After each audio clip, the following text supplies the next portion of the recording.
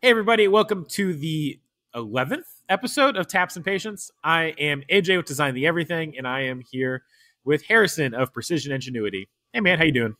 Doing good. Man, episode 11. Time flies. I'm pretty sure it's 11.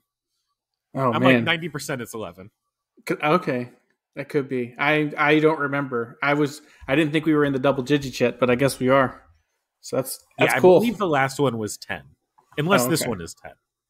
But I think Yeah. it's the last one that was 10. Gotcha. Well, that's awesome. So, uh how we doing? How was last week? Uh, pretty good, pretty productive. Yeah. We Yep. we actually had a, a horrible week last week in a lot of Uh-oh. ways, but but also kind of a good week. So it's kind Well, of let's a, a start mixture. okay, do you want the good or do you want the bad? Um, is, if there's multiple items, stack them like a good bad Oreo. Okay. Um so there's not really a, a stack. It's I guess I can go good, bad, good. Um so the the good news is is that um I've got been able to pick up some more new contacts and I have a company that I'm working with locally that wants some big equipment designed and manufactured and I got to factory tour their facility last week. Um, Nice. and until I, I, work with them a little bit, I, I won't share the company name. Um, but right now, it's an extremely manual process, and they're looking into a lot of automation. So they're they're a distribution center, and they get a bunch of a bunch of boxes in, and then they have to open up those boxes, boxes, pull out all the contents, sort them, and repackage them to ship out. And so they don't do any manufacturing there. All they do is they open up packages, pull out the contents, organize them into different groups, and then reship them out in smaller group packages. And so it's an extremely manual process. Um, and and they they ship out a ton of stuff out of this facility. And so there's a lot of different instances where uh, they want to include some automation. They have a little bit, um, but they're just scratching the surface of what they can do with automation. And I'm hoping that I can kind of get in on the front end of that. So, so would this be like design build type projects? it would be, it would be, and it, it some of it would be more than just like machining parts and designing parts. It's actually going to include some engineering, um, and I think that'll be a lot of fun. It'll give me an opportunity. So I'm mechanical and electrical, and I haven't done much with my electrical Okay. side yet. So I'm excited in the sense that I'll get to actually play around with maybe some programming um, for some of this stuff. Um, and there's some other local companies that do um, automation programming stuff that I can work with. Uh, so I'm not sure if I will outsource that or if I will, how much of that I will do myself. Um, but it sounds like it could be a ton of fun, and I'm really looking forward to see what it actually leads into because it could open other doors. Um, especially because I don't really have to buy any new equipment to do anything because I'm more comfortable with um, outsourcing different parts of this project. And it's just going to be using my engineering abilities and sourcing parts after I've designed everything. Um, and, you know, there'll probably be some machining on my end, but it'll probably be uh, mostly design and have other people fabricate because it'll be a lot of tubing stuff and welding. Okay. Yep. So, and air cylinders cool. A lot of air cylinders and solenoids and stuff of that nature as well. So that's that's the good news. So All right, now we need the Oreo stuff in here. okay. So bad news is is that our fiber laser has gone down. Oh no. Yeah. So they think it's a problem with the the actual board inside of it, and thankfully it's under warranty. But good news with bad news, um, our laser work is starting to pick up like crazy, Uh huh. and then it goes down. yes. So we have about um, 50 tumblers that a company wanted engraved for their Christmas present. And we have we we ordered in the tumblers, and the day that they came in the mail was the day our laser went down. oh no. So, um, and then we also had that that same company had we had done some work for. Um, in fact, it was the very last thing we engraved was some parts for them that we were prototyping that we put their logo on, and so now um, we had another prototype we were working on for them, and we were going to put their logo on it, and we couldn't because the laser had gone down. So Yeah. um, they were still really happy with it, but I didn't get to like blow them away with their little logo on it. So yeah, um, so we got to get that going. Um, and then let's see here, some more good news. Um, once again, we're getting more and more connections at random places. So I've had several different people that have contacted us um, that are like friends of friends kind of like like they they did some work for us or i did some work for them a while back and then they tell someone else it's kind of word of mouth and so one of them is something that i'm really hoping works out and it's really exciting if it does um, i can't say any details on it right now but if it does um, it could appear on some big tv broadcasts that's all i'm going to say for now but i, I really hope um, that that one works out because that would be massive if I could advertise that I was the one that made that. Um, so that one's exciting. What else was there? Um, some more kind of good news, bad news. Um, we're getting some more work, but the problem is we're running into an issue now where we have more work coming in than we have cash to actually buy all of the materials Mm. that we need to do some of the work. And so it's kind of a catch 22 where we want to take on more work, but we don't have the cash flow to buy all the resources we need to take on some of these jobs. Um, and some of that is exasperated by the fact that we have a couple jobs that um, are behind in payment. And so um, that's really putting the screws down on a few areas. Um, but hopefully, once we get the payments issues resolved, that'll kind of fix itself. Um, but we'll see. So Are you are you a no debt company generally, or do you guys take debt? we try to avoid it as much as possible, but I mean, our machine, our Tormach is financed. That's how we got that. Um, The Haas our huh? is the Haas. The Haas's The as well. Yeah. Okay. Yeah. So, but every that, those are the only two things that ha- are financed in any way. Um, everything else we try to we try to pay cash for um, whenever we have it. So yeah. financing financing material to be able to do a job though like that's that's good debt i would say like i, I wouldn't think twice about that yeah, it, it is.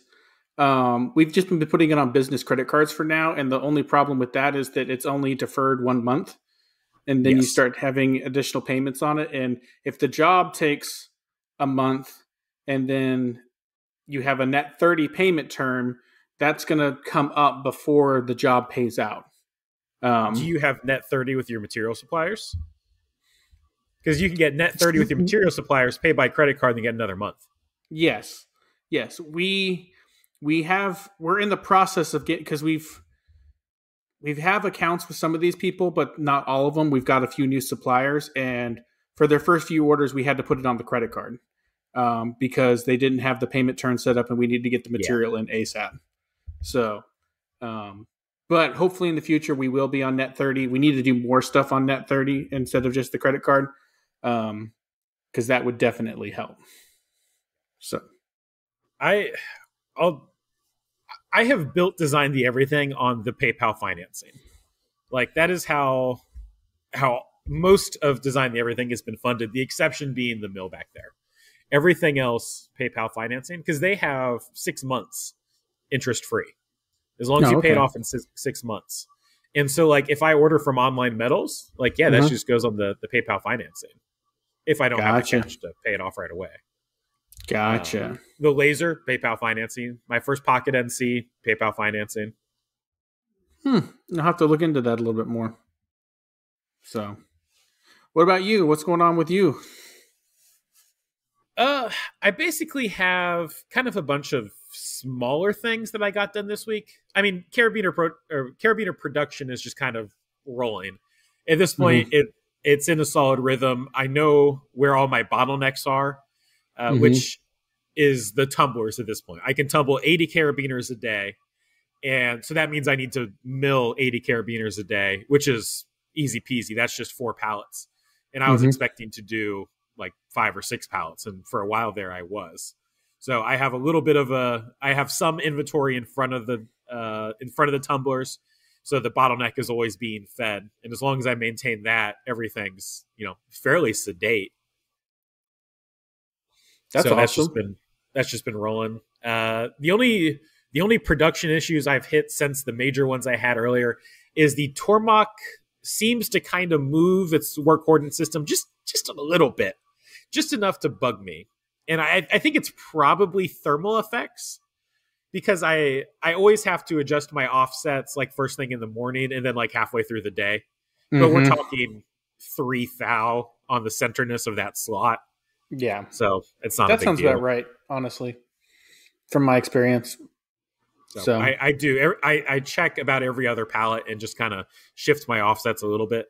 And Mhm. generally, I go like one way, three thou, and then on, later in the day, I go back. So Yep. So let me ask you a question. As you're getting them done, are you planning on shipping them out as they come down, or are you going to wait and do it all at once? so I would be shipping right now if I could. The Okay. the holdup is I have changed my packaging, which was the other thing I was going to talk about. Oh, okay. I you you got me watching those Jenny and Davis videos, and they have just very pristine, beautiful packaging, and it made me Yes. feel bad about my packaging. and I, I thought I was doing a good job, but I saw someone who was doing better, and was like, okay, I can do better. And so the other day, I sat down. I actually recorded this and posted it as a YouTube video. But I sat down with my graphic designer buddy Scott, and we talked through the packaging design and the opening experience and all Mhm. of those details yeah. and he just sent me earlier today proofs for a packaging redesign. We're going to get custom printed boxes. I I found out, and this was the thing that I did not understand, and that Jenny and Davis taught me. So these boxes right here from Uline, if you're Mhm. not watching on the the video podcast, it is just a white box. It is three inches by three inches by one inch tall. Mhm. These run about 45 cents plus shipping from Mhm. Uline. I can get custom printed boxes with my logo and branding and like some Easter eggs and like just much prettier boxes, full color inside and outside printing for about 70, 75 cents. Yeah. So, So- it's a little bit more expensive, but like not game changingly expensive. And it looks so much more professional. Yeah, yeah. I was going to say, I don't know if you knew this, but we actually did custom packaging for our uh, desk launch, or uh, not desk launch, our uh, deck defenders. I I remember that now. Uh, who'd you who'd you order it from? Uh, I can't remember the company, but I would probably never use them again if they're Okay. first if they're first batches. So we we got a bunch that had these random red lines on Oh, some of the packages that would show where the bend line was. Um, but they didn't all have it, and it wasn't needed because there was creases already in the packages, so you didn't need them. So I, I- don't know what that was about, and it, and it was inconsistent as to where they were. And then some of them, the, the printing was like off one way or off another way. Like it was just, I would say one in five or one in ten had an issue, um, and it was just like inconsistent. Like did did someone QC these? Did they look at them? Like what was going on? Um, well, I should say, first rule of packaging is that it's wildly inconsistent. Plus or minus an eighth inch is like good in the printing and packing industry. Well, okay. I'll give you that. But the random red lines that show That up on the pack, yeah, yeah. I'll have So- to. I'll, I'll have to see if I can find some at the shop and and bring them home. That way, I can show uh, those uh, viewers that are seeing the video the difference between them. I know what they did. Are you ready for this? I know exactly Hmm. what they did. So when you un- when you're designing the packaging, it's in an unfolded state Mhm. and just like a sheet metal part. And Mhm. they use just like when you're setting up for a laser cutter, they use different colored lines to mean different things on that Mhm. flat pattern. So like a a red line might mean fold fold up, a blue line might mean fold down, a green Mhm. line is cut, whatever. The the files that they use to make that packaging is called a die line Mhm. and it has both your artwork on it and then also those folding dimension stuff. Mhm. If they they have to remember to remove those fold marks That makes from the printer. Like if you like you can accidentally print those fold marks if you aren't paying attention. And they probably had them arrayed out on, you know, some bigger sheet size. And on like one of the little one of the little it's not a pocket. like, uh, like they missed a row or a column. yeah, they just forgot to delete one of the lines, which is why only like one in ten had it because they had, you know, ten arranged on a sheet, Mm-hmm. which is Yeah. kind of hilarious. Yeah. So uh funny, not funny. Um kind of like I don't know if we I don't know if we ended up reaching out to him. I think we just didn't have enough to like we had more than we needed. I'm about to sneeze. We had more than we needed, and so we ended up um like not worrying about it. We were just kind of like, whatever, we'll just not mess with the the fight. Um but it also probably doesn't help the, that we did it under a prototype batch and so because it was such a low vo- volume um, that it was cheaper to just order it as like a prototype um, How many did you get? sample a hundred Okay. So I'm doing 10 times that. yes Yeah. But so one of the nice things about Kickstarter is you get you can get bulk pricing on other things that you use. mm-hmm. So like, you know, I'm I need 500 boxes for the Kickstarter, but I'm going to order a 1000 boxes so that I Mhm. can get those price breaks for everything down the road. Mm-hmm. And ordering a 1000 is like a 100 bucks more than ordering 500.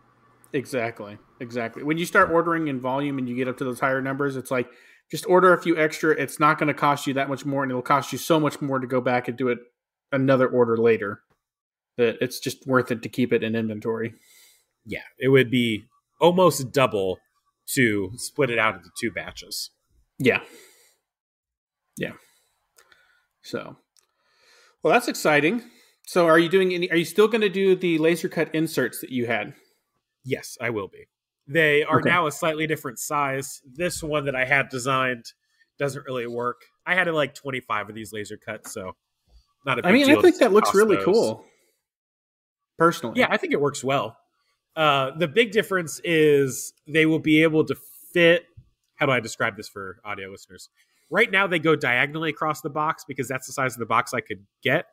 hmm In the future, they won't have to go diagonally, which means I can fit more in there. Oh, okay. Uh, also, this box, it's a three inch by three inch box, is smaller than all standard shipping labels. hmm So I would have had to like wrap a shipping label around it. And I was told that that's a really good way to lose a lot of packages. So, are you planning on sticking your smaller boxes inside a larger box, or are you planning on shipping them just as is? Nope, just slap a label on it and send it off in the mail. Because we did a box inside a box when we did our Yes. our our stuff. Um, I mean, there's Just be- nothing wrong with doing that, but like the whole point of like the whole point of custom packaging is that people get to see the custom packaging. well, yes, but then you're slapping a label over the whole thing. Well, we're designing it with that in mind. Oh, okay. And the outside of the box really doesn't have too much going on. It's more about the inside of the box. Okay, that's fair. That's fair. I just didn't want you to like. I, I, it sounded like you were designing all this stuff, and it's like you're going to stick a label around half of it. So. Wait, Go go watch the hour long YouTube video with me and Scott okay, talking about packaging. yeah, I'll go look at that one. So, um, what else?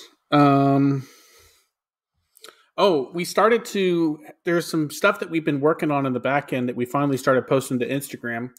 Um, kind of some like how it's made video type stuff, where we uh, Uh-huh. where we're filming um, the whole design process from start to finish on stuff where we're doing the engineering work and then we're 3D printing prototypes, and then we're machining it, and then coming out to final product and showing it in use. Um, so we have two of those up right now. They're probably still a little bit longer format than um, some people do, but I think they look good. So we'll probably tweak those as time goes on. How long are they? Um, I mean, they're like a minute, but like for your fast paced average person who like looks at reels on Instagram, um, it's probably a little bit on the longer side because you know the I was talking to I have a friend who's uh, does a lot of YouTube, and he was saying like you need to be like cutting every three to five seconds. Yes. Um, between different shots, and sometimes we do that, but like when we get into some of it, like we'll hold it for you know seven or eight seconds a shot, and that's probably a little bit too long. And you can definitely feel it when you get to those moments. It'll be like jump, jump, jump, pause, jump, jump, jump, kind of a deal. It it depends. The it's all about rhythm and like expectations. And if you mm-hmm. go cut, cut, cut, cut, cut, cut, cut, cut, cut, cut, cut, cut, cut, end of video, then mm-hmm. the video becomes monotonous and like people still lose attention, even though because mm-hmm. you're changing rapidly. But if you go cut, cut, cut, long, cut, cut, cut, long, cut, cut, cut, cut, cut, cut, long, long, yeah, then it it like you you build up the expectation of the cut, and then when you don't give it to people, that makes them pay attention again. That's and, that's that's valid. So make keep them guessing, kind of a deal. Yeah, it, it's all just about rhythm, and and you can do things like intentionally establishing like cut, cut, cut, long, cut, cut, cut, long, cut, cut, cut, long, and then that's you can true. change it up, and that'll that's also, true. yeah, it's, it's, just rhythm. Like yeah. just like music, you you make a rhythm, and by keeping it or breaking it is how you make it interesting. Yeah, that's something that we'll definitely have to play with as time goes on. It's you know, I'm I'm not very good at the social media game, and so it's something that we're trying to learn a little bit. But we are starting to get more and more followers, so we're almost up to 700. So excited about that. So it's definitely been growing a lot more since we've been posting a lot more regularly. So yes, that, that is how that works. that, that is how that works. Which so mine has not been growing because I have not been posting regularly, except for Instagram stories and YouTube. But like yeah. my Instagram account has been pretty stagnant because I haven't been posting on it. So I have a random question for you. Okay. How well does your Etsy page do? Like, are you doing a lot of sales here recently? Right now, it has been doing very poorly mostly because I don't have very many things for sale. Okay. And I'm not pushing it at all. Okay. So when I had when I had 8 or 10 items on there in stock, it was doing pretty well. Um, mm-hmm. you know, like $1000 a month or so without too much effort. Okay. Now I have basically two things on there. Um, well, I guess three things. I have the parametric pry bars, which those are a terrible product for Etsy because they're super complicated to explain to people. Mm-hmm. And then I have the orange slices, which those are my best seller. Right now I'm selling, you know, one or two, maybe, yeah, one or two a week or so. Mm-hmm. And then I have my powder coated trays, which are not selling at all. I haven't sold one of those forever. Oh, okay. Uh, and that's like all I have on Etsy right now. Have you done enough Etsy? Like, do you is it something where it's kind of like uh, Instagram or any of these other social media sites where if you feed the if you feed the algorithm, you you sell more over time? Oh, 100%. Yeah, it's all about the algorithm. Okay. Cuz we're starting like we're we're just now and I've kind of mentioned this a couple times, but we're starting to pick up our pace and I'm just wanting to I'm just curious as to how to keep it growing type of a deal. Yeah. Uh now, one thing and don't let this um it's the season. I know. In January, yeah, January first, your sales go ooh, yeah, and just fall off a, a mountain, and that mm-hmm. that's for everybody.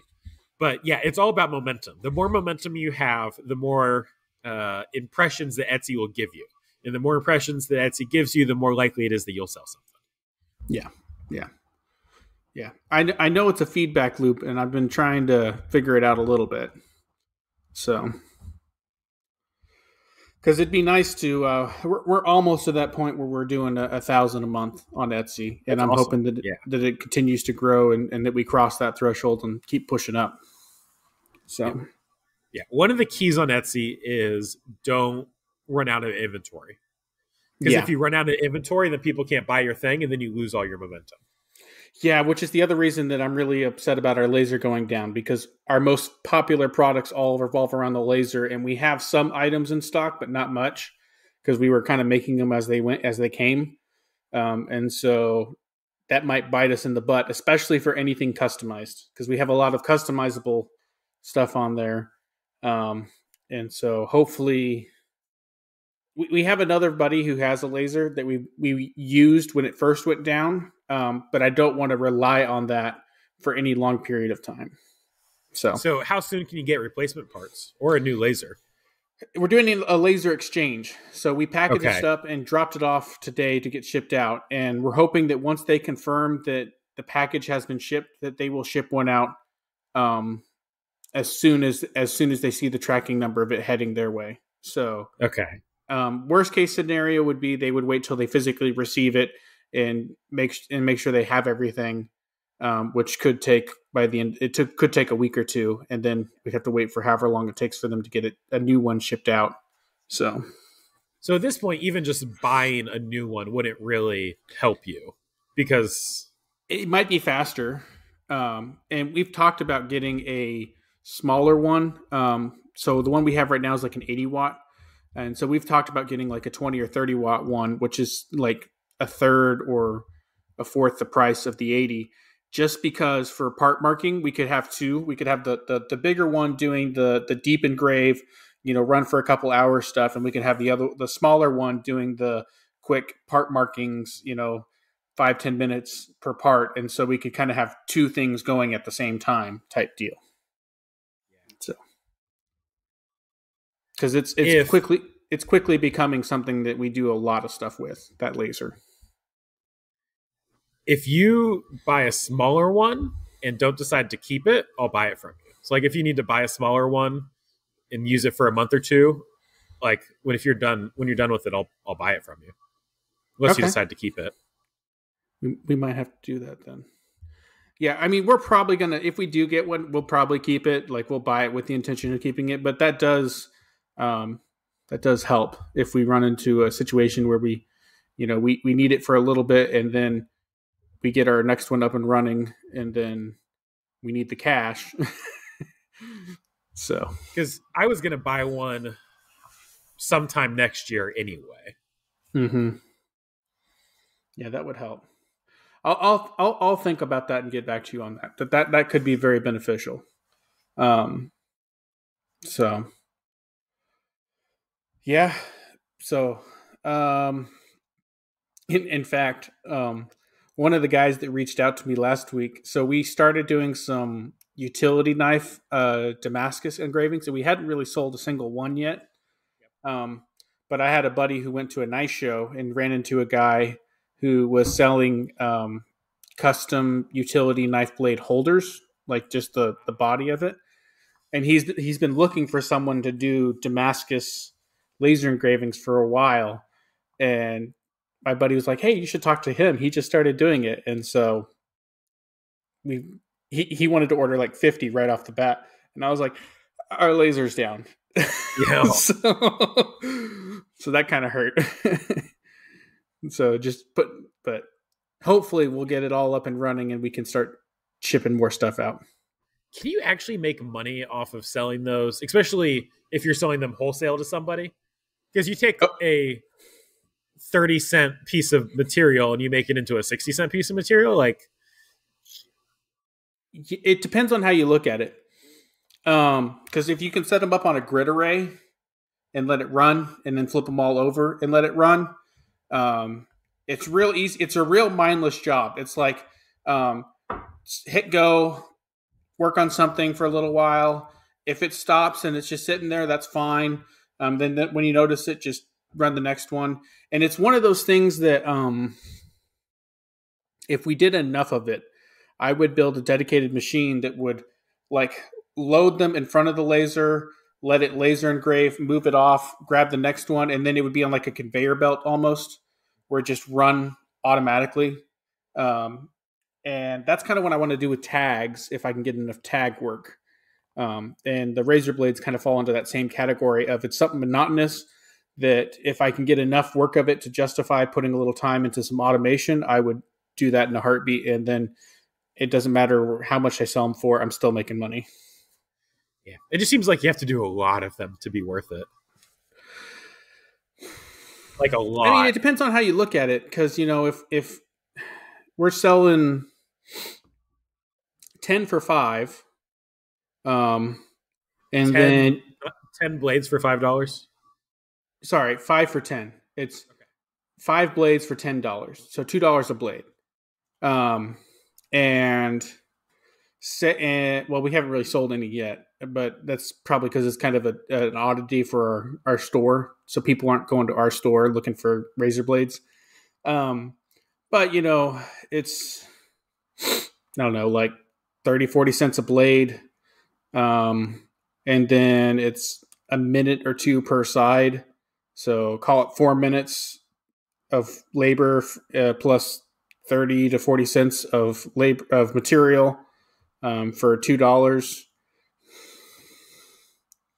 A blade. I mean it's not like i'm not going to go retire off of it but for work that's just like i don't have to think about it. I don't have to mess with it very much. It's just set up let it run um, one at a time or a array at a time or automated um, makes a lot of sense and you start doing that so Fair plus enough. if we plus if we ever start if we ever do make a knife or a utility knife like if we start selling enough of these that we go oh we should make a custom utility knife that may or may not happen at some point down the road um, then um, then we'll already have all the infrastructure set up to do our own razor blades for it and at that point i think they would sell a lot better Okay, that's fair.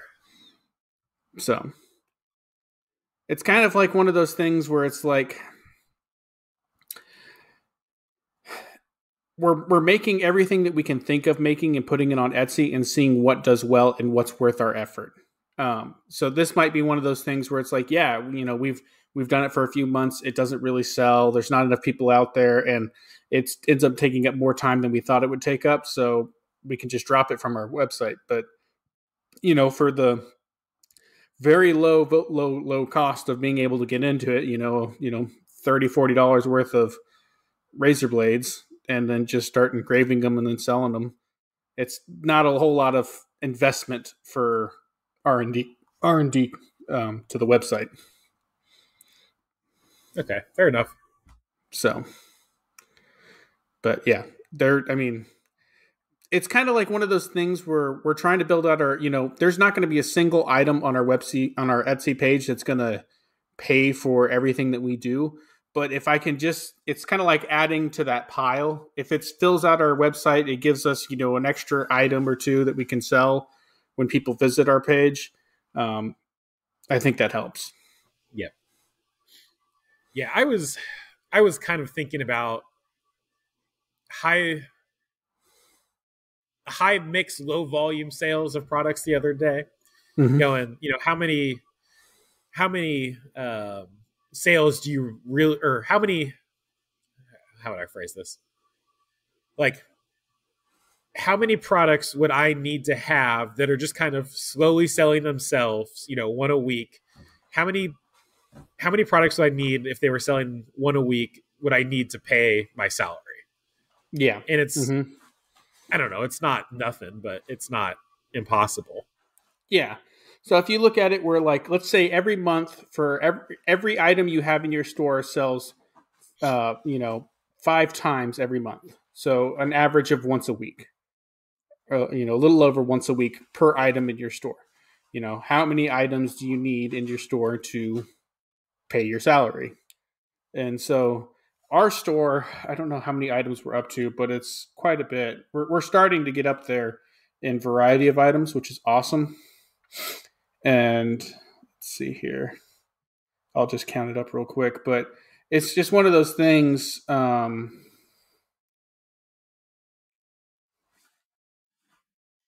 there's 24 items listed, so um, you know everything we can add Yeah, to that. at all Um, everything, every item that we can add to that list will help.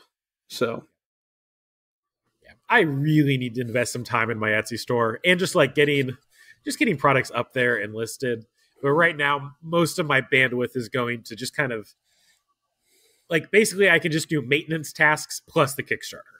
Yeah, and and see that's where I I I would like to see us work out well. Where um, if if you can keep focused on R and D and then have your Etsy page just keep it in stock, I think that would work well for you. Yeah, so that's that's where I'm wanting to head. yeah, get the product going, and then you just have to keep it in stock, and then you can keep working on your next ones and build it up. So you're you're focusing more on doing Kickstart launches of everything, where we're focused on just getting product in the store. And we'll, you know, there might be some stuff that we'll do some Kickstarter with later, but we just don't have the the energy to devote to that with all the other stuff we're trying to do. It's much easier to just get a product, stick it out there, and see how it does. So, but Um, speaking of things that are incredibly high effort and low return, uh, I started a new YouTube channel. oh, really? Yeah, it is called Five Minute Fusion. Five Minute Fusion. I like that. That's a good name. Uh, 33 EDC on Instagram came up with that. I originally had it called like Design the Everything Learning, and he was like, Mhm. Five Minute Fusion is catchy, and I was like, it is, and I, I took that name and made it mine. I've I've thought about making SolidWorks videos before because every single video that I see on SolidWorks is usually pretty junk and Yes. or um, in a different language or heavy heavily accented. It doesn't have the younger, more hip user base that uh, Fusion does.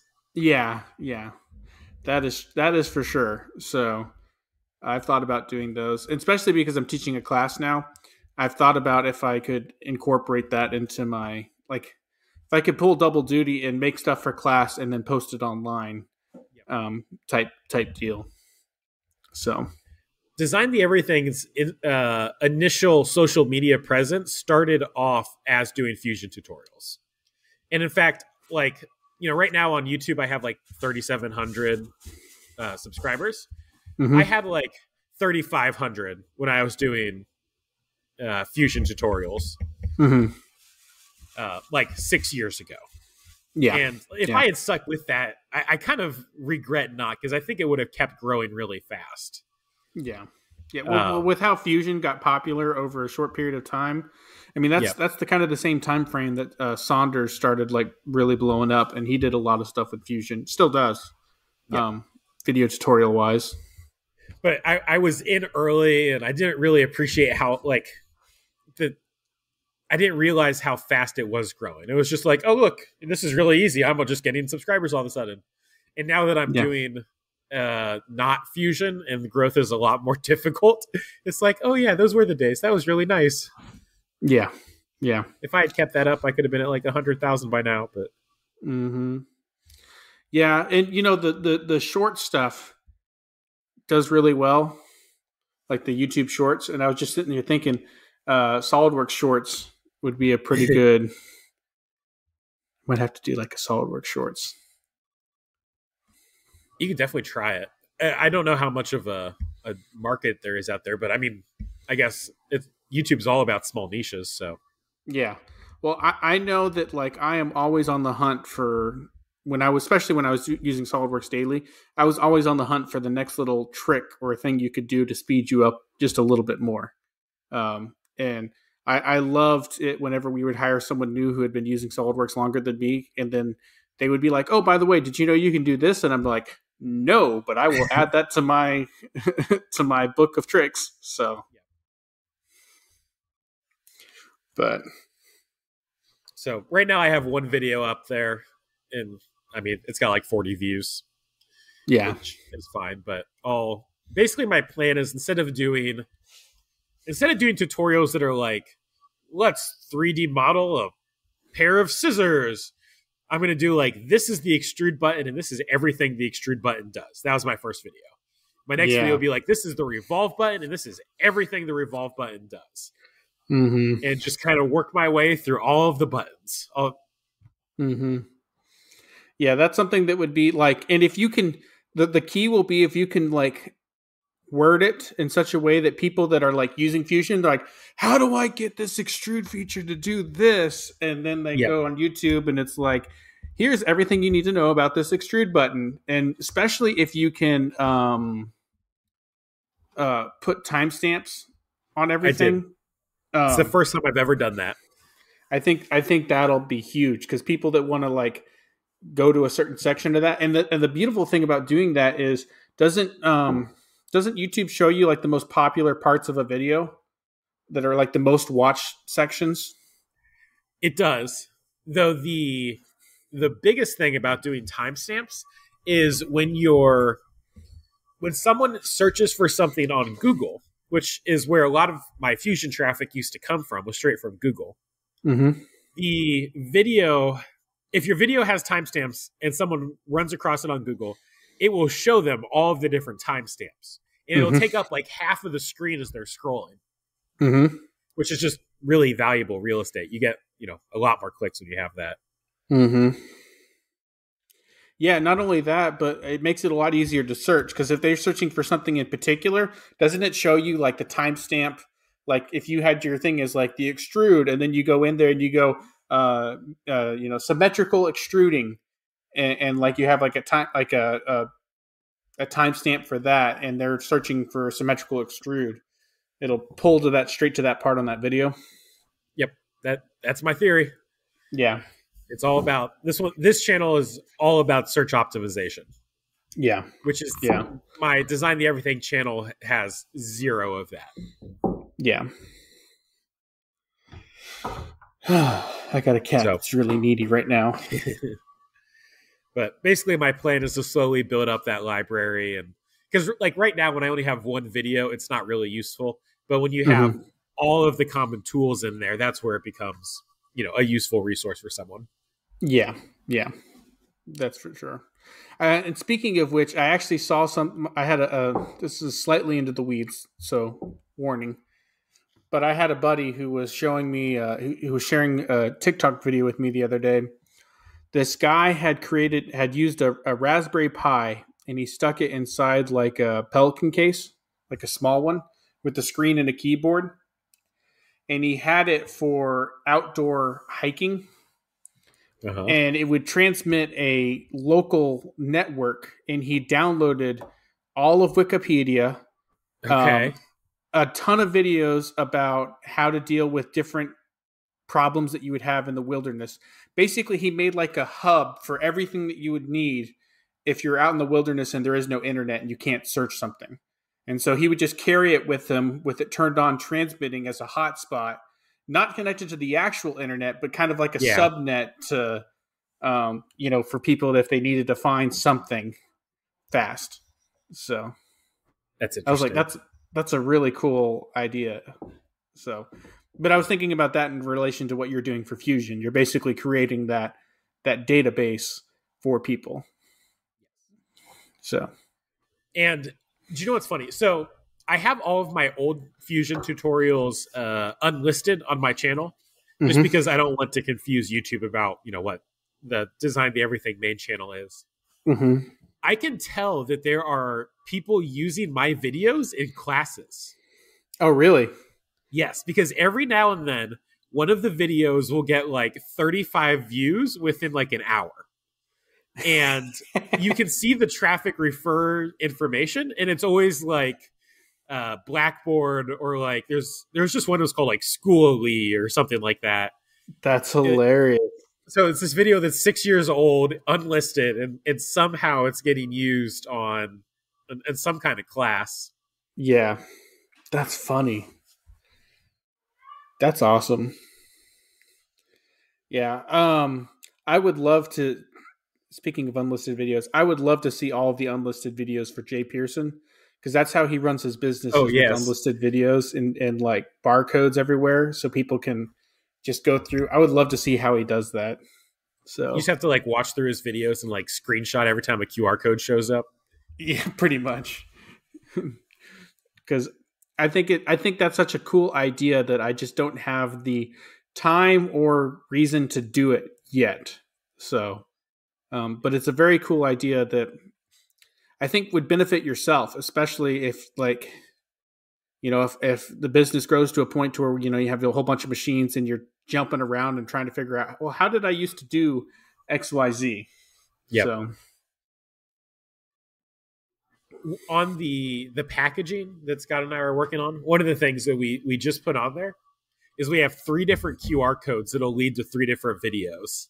Oh, really? And yeah, there's going to be like you, you're going to open the the package, and Mhm. on that lid that's right in front of you, we're going to have one QR code, and that's going to go to like a welcome video that's like, "Hey, I'm AJ. Thanks for buying this." Yada yada yada.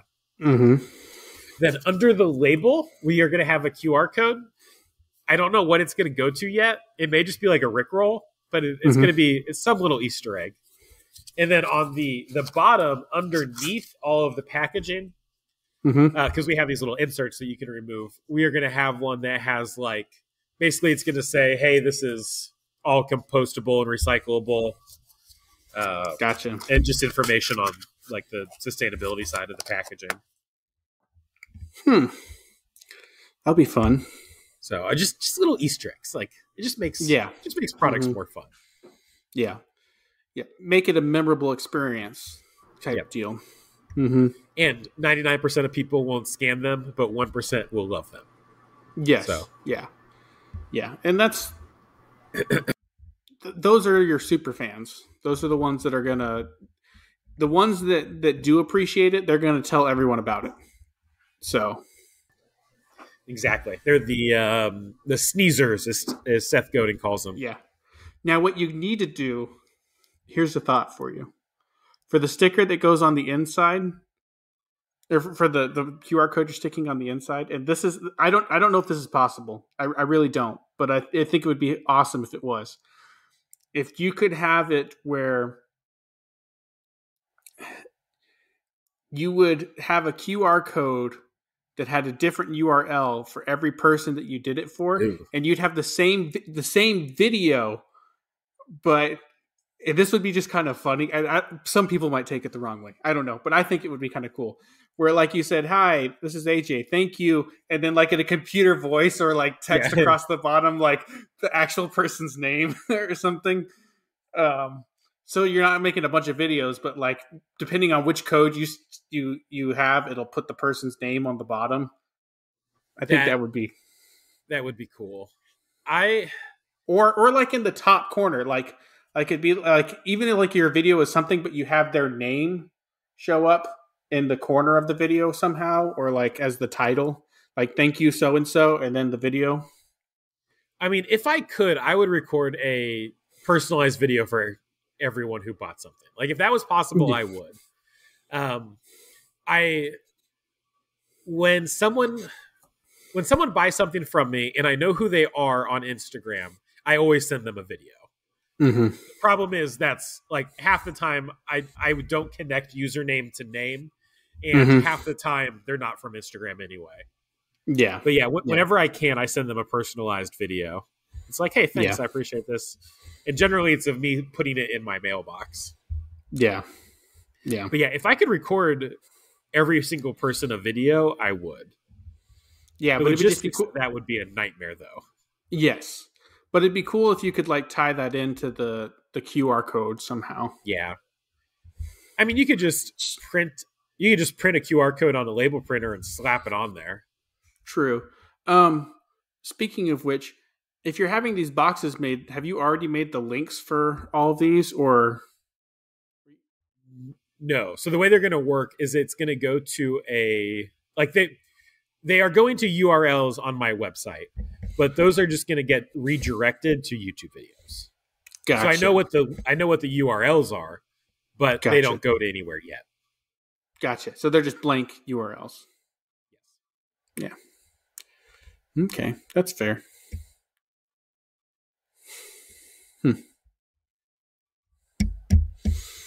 Hmm. So I have a topic that I think we should talk about next week Oh, what's that? or later. You can tell me this is jumping the gun. Uh, but one of the things I did today was go over my 2023 goals and like Mhm. what I want to accomplish in 2023. I don't know if you have those ready yet, but either next week or at some point in the future, we should talk about those. I have not prepared anything of the sort. Um, That's why I didn't. I, I was going to talk about those today, and then I realized that would be mean because I am prepared and you are not. well, to be fair, I don't think I've really done that for this business um, just because I'm still in the process of figuring out everything about what we're doing with this business. We're, we're so malleable right now that it's it's kind of hard to come up with concrete goals. if that makes sense. Um, have you considered that you're malleable, which is why you need concrete goals right now? Yes. Yes. It's just I'm I don't know what the personality type you is, but stay malleable until you have concrete goals. That's true. That's true. Yeah. That's valid. But hmm. this this is what I made today. I'm going to show my the video watchers here. Uh, it might be mirror imaged for you.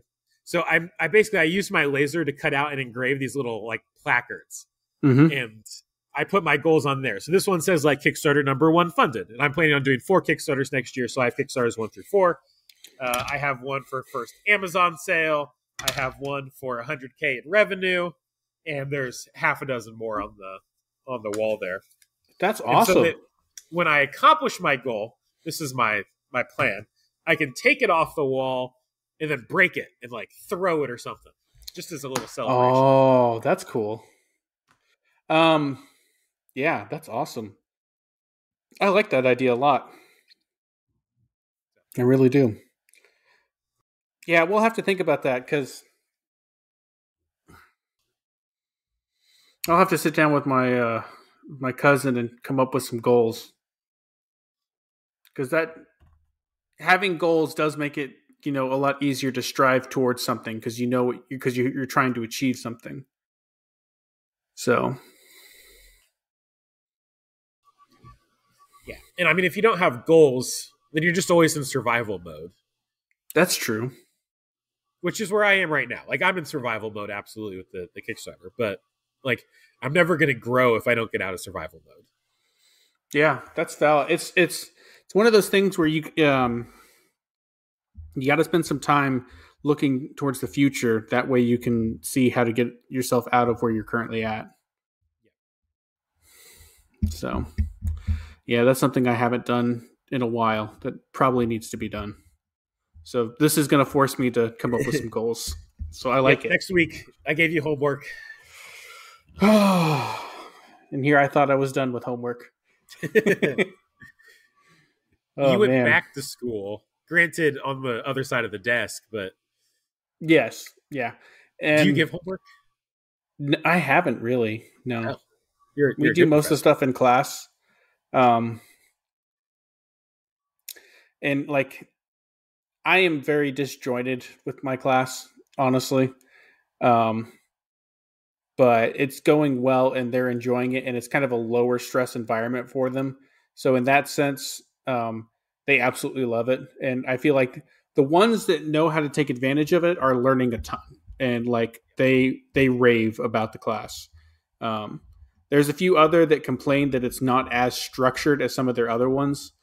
Um, and my kind of fallback is so's life. Life isn't really structured.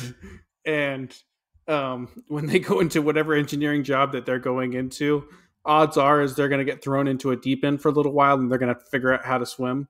So that's some of my justification. Like I do need to do a little bit better about um, about giving them a little more structure, but at the same time, um, it's interesting to see some of the solutions they come up to problems because there's different solutions that I haven't thought of to kind of problems that I pose to them.